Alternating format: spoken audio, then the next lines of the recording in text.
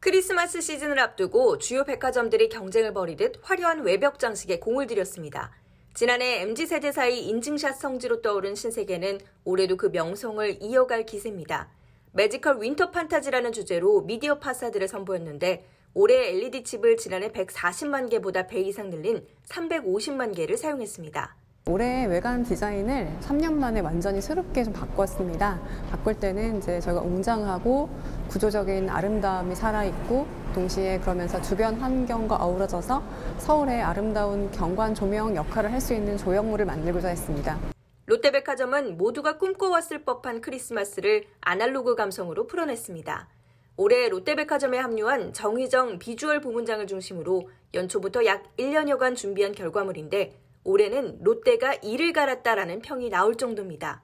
이번 크리스마스는 엔데믹 시기의 첫 크리스마스인 만큼 크리스마스 dream moment라는 컨셉으로 오프라인에서의 꿈 같은 순간을 선사해드리기 위해 심혈을 기울였습니다.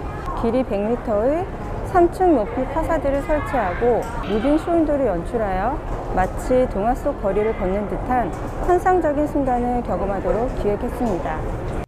현대백화점은 여의도 더 현대서울 5층에 크리스마스를 주제로 천평 규모의 H빌리지를 조성했습니다. 단순 전시가 아닌 고객이 직접 즐기고 체험할 수 있는 공간이다 보니 평일과 주말 문전성시를 이룹니다. 지난해에 이어 고객이 직접 체험할 수 있는 H빌리지를 조성해 크리스마스 이야기 속으로 직접 들어간 듯한 느낌을 주도록 했습니다. 앞으로도 고객에게 행복과 희망의 메시지를 전달하기 위해 다양한 행사들을 선보일 계획입니다. 예년보다 외관은 화려해졌지만 에너지 전략도 놓치지 않았습니다. 백화점 3사 모두 일반 조명보다 전력 소비를 최대 80%까지 줄일 수 있는 LED 조명을 채택했고 예년보다 점등 시간을 2시간 줄여 운영하기로 했습니다.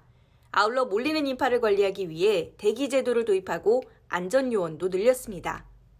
온라인몰의 급성장으로 오프라인에서의 차별화된 경험이 주요 화두가 된 가운데 백화점 3사는 올해 직접 추억을 쌓을 수 있는 크리스마스 공간 장식을 차별화 포인트로 선택했습니다.